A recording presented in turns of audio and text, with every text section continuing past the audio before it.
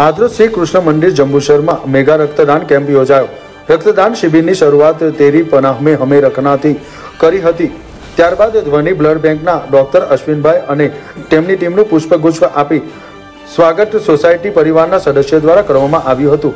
આ રક્તદાન કેમ્પનું આયોજન ગાયત્રીનગર સોસાયટી, સરદારનગર સોસાયટી અને શ્રી રંગ અવધૂત સોસાયટી પરિવાર દ્વારા કરવામાં આવ્યું હતું. આ રક્તદાન કેમ્પમાં ખૂબ મોટી સંખ્યામાં રક્તદાતાઓએ રક્તદાન કર્યું હતું.